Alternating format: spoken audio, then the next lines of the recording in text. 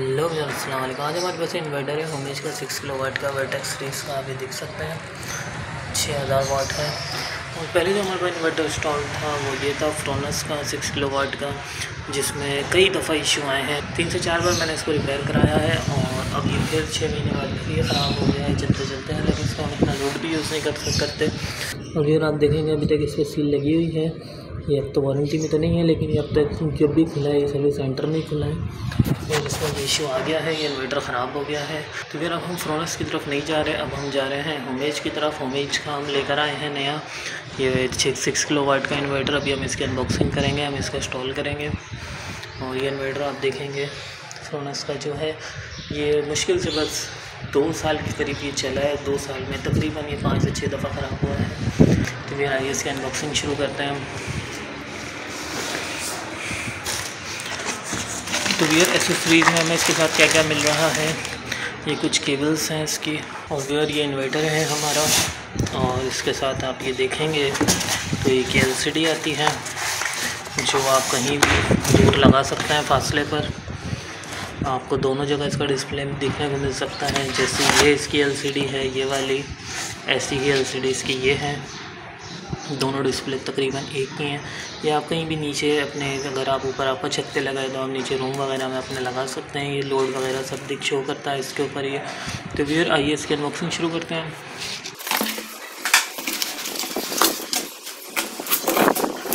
Where मैं इसको box में से निकाल लेता हूँ, फिर आपको दिखाता हूँ। तो वेयर ये हमारा इन्वर्टर आ गया है होमेज का। और ये आप देखेंगे, हमारा पुराना इन्वर्टर है फ्रोनस का। और दोनों को साइज़ में अगर आप देखेंगे तो ये जो हमारा होमेज का इन्वर्टर है, इससे काफ़ी बड़ा है।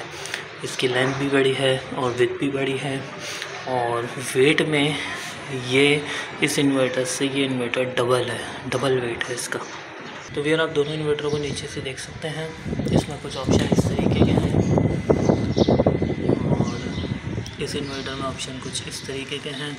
जैसे इसका लाइन इन है लाइन आउट है। बैटरी है नेगेटिव पॉजिटिव और ये पीवी है नेगेटिव पॉजिटिव ये वाईफाई है।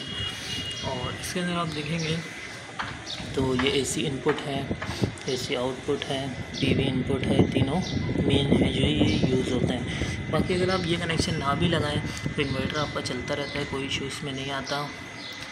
और ये इसकी बैटरी में हैं।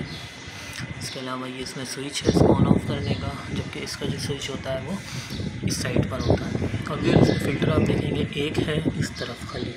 और जबकि इसमें फ़िल्टर देखेंगे तो इसके दोनों साइडों पर होता है। इसका फ़िल्टर दोनों साइड पर तो फिर मैं इसको पहले ज़रा इंस्टॉल करूँ, फिर आपको दिखाता हूँ। तो फिर ब्रैकेट हमने इसका लगा दिया है, तीन स्क्रू से और हमने इसके ऊपर पहले एक प्लास्टिक लगाया है पूरा। और उसके ऊपर ये पट्टी हमने लगाई है ताकि इसको कोई भी पल्स वगैरह बारिश के दिनों में जब नमी होती है, बहुत दीवारें भी आपकी सिल रही होती हैं तो इसको कहीं से भी कोई पल्स ना मिले। जिसकी वजह से हमारा इन्वर्टर ख़राब हो सकता है कि ये हमने कीबोर्ड होता है, कीबोर्ड के नीचे की प्लास्टिक है पूरी। और ये देखेंगे आप सर्किट ब्रेकर जिस तरह लगे हुए हैं, ये हर फ्लोर का सेपरेट है। सब में एसी पे एक ब्रेकर दिया है। और सोलर पे एक ब्रेकर है। तो फिर हैंग कर दिया है हमने अपना इन्वर्टर आप देखेंगे तो ये जस्ट एक पट्टी है। फिर अब हम इसके कनेक्शन करेंगे। कनेक्शन किस तरह करेंगे? कि इसके साइड के दो स्क्रू हम खोलेंगे, एक ये वाला और एक इस तरफ़ है ये वाला। स्क्रू खोलेंगे तो एक कमर हमारा रिमूव हो जाएगा। तो फिर स्क्रू हमने इसके साइड की खोल लिए हैं। दोनों साइड पे दो दो स्क्रू होते हैं। दोनों हमने खोल लिए उसके बाद ये कमर आप इसको ऐसे ही हटा लेंगे इसमें से। उसके बाद आप देखेंगे तो अंदर इसके कनेक्शन है, ये एसी इन है, जो हम के इलेक्ट्रिक वगैरह अपनी दे सकते हैं वाटर वगैरह। और ये एसी आउट है, जो मेन हमारा लोड जिस पे चलेगा, और ये पीवी इनपुट है। और बैटरी के आप देखेंगे तो बैटरी के इस तरफ़ देखने को मिल जाएँगे आपको। तो फिर ये हम लगा रहे हैं पीवी के वायर बैटरी के हमने इसके लगा दिए हैं। आप देखेंगे तो आपको नज़र आ जाएगा। तो फिर अब हम ये जो आउटपुट है, इसका जो लोड है, वो हम लगा रहे हैं। तो सात उनतीस का तार लगा हुआ है, आप देखेंगे ये जा रहा है। और इसमें माइनस वाला इसका ख्याल रखना होगा, हमारा जो रेड है वो प्लस है, इस पर टेप लगा हुआ है। और जो नेगेटिव है वो राइट वाला है ब्लैक तो फिर अब हम इसके पीवी कनेक्शन करने लगे हैं। पहले हम, आप देख सकते हैं, हमने फ्रोनस का लगाया हुआ था इन्वर्टर तो उसके अंदर ये एम सी फोर कनेक्टर आते हैं। और अभी जो इस होमेज का जो इन्वर्टर हम लगाने जा रहे हैं, इसके अंदर ये वायर लगता है। यहाँ पे तो वायर हम इसके चेंज करेंगे। तो आप देखेंगे कि ये इस तरह इसमें कनेक्टर लगे हुए थे। तो यार ये हमने लगा दिए इसके वायर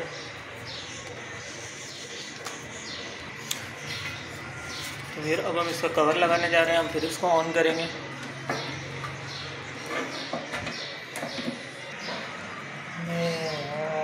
तो फिर अब हम इसका पीवी उठा दिया है हमने। आप देखेंगे कि ये इसमें सप्लाई आ गई है। अब हम ब्रेकर उठाने लगे हैं बैटरी का। और ये हमने बैटरी का ब्रेकर उठा दिया। फिर इसमें ये बटन है नीचे, आप देखेंगे। तो अब हम ये बटन ऑन करने लगे हैं इसका। ये हमने ऑन कर दिया और इसने बीप दी है। और अब आप देखेंगे इसका आउटपुट वोल्टेज शो में है। और बैटरी चार्जिंग भी हमारी चली गई है। के इलेक्ट्रिक हमने इसको दिया नहीं है। तो इसलिए ये वाले हमारे ज़ीरो हैं। ये बैटरी चार्जिंग एम्पेयर, अब आप इसके देखेंगे, थर्टी नाइन एम्पेयर आ रहे हैं। और ऊपर से कितना किलो वाट हमारे पास आ रहा है? Two point four kilowatt हमारे पास सोलर की एनर्जी से आ रहा है। और जो जो टाइम हो रहा है, शाम के साढ़े चार बज रहे हैं। और अभी तक हमने इस पर लोड नहीं दिया है। लोड हमारा ज़ीरो है इसके ऊपर। और ये पी वोल्ट है, ऊपर से आप देख सकते हैं टू नाइन्टी वोल्ट है पी के। तो आप देखेंगे तो हमने एसी में इसमें वायर नहीं लगाया ये एसी इन है।